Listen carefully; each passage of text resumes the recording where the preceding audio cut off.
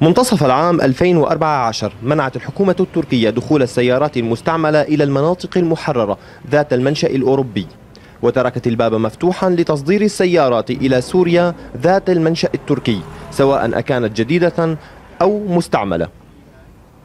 بشكل عام متطلبات السوق في المناطق المحررة في سوريا من السيارات تركزت على السيارات التالية السيارات السياحية بأنواعها سيارات الجيب البيك أب الزراعي سيارات نقل الركاب المتوسطة الفان وسيارات نقل البضائع الإنتر وسيارات الشحن الكبيرة.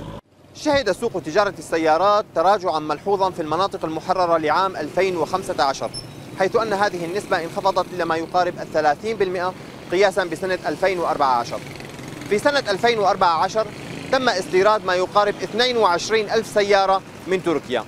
بيعت هذه السيارات بما يعادل 40% في المناطق المحررة و60% في مناطق تنظيم الدولة الإسلامية.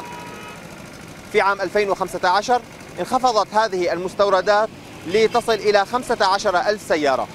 بيعت هذه السيارات بما يعادل 25% في المناطق المحررة و75% في مناطق تنظيم الدولة الإسلامية. يقول التجار أن أسباب تراجع المبيعات في هذا العام تعود إلى كثير من الأسباب. أولها ارتفاع سعر الدولار مقابل الليرة السورية المعارك التي دارت بين الثوار وتنظيم الدولة الإسلامية. إيقاف الجانب التركي دخول السيارات الأوروبية المستعملة. وعن تباين أسعار السيارات ما بين المناطق المحررة والمناطق التي يسيطر عليها النظام السوري يقول التجار.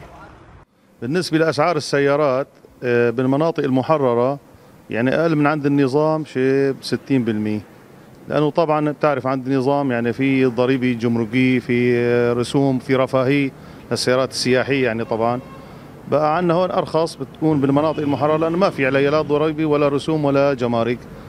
وبالنسبة للمستعمل كمان لأنه عم بيجي يعني بكثرة عم بيجي كثير كمان عم بيجي أقل كمان شيء ب 40% يعني دائما هون بالمناطق المحررة بتجي أرخص السيارات عرفت شلون؟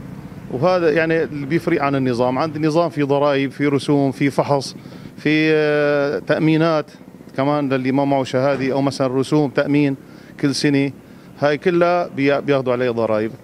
هذا الفرق عن مناطق المحررة.